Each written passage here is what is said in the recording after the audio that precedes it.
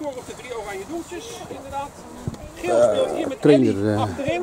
Trainercoach Henk Eh, de Kortvliet. rechts- en linkshalf en de mid mid Bjelke Koppers als assistent eh, coach van eh, het schaduwteam. Nathalie Vonhoff. Teammanager eh, Daan Snoer. Dit is dan, eh, dat zijn de nieuwe talenten dan waarschijnlijk eh, in de aanloop naar Jong ADO. Het schaduwteam heet dat. Allemaal talenten uit de regio.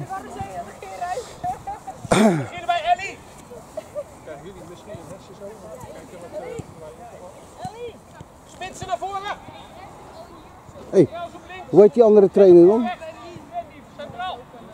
Daan, hoe heet die daar dan? Ja. Jack? Jack wie? Hè? Jij bent teammanager.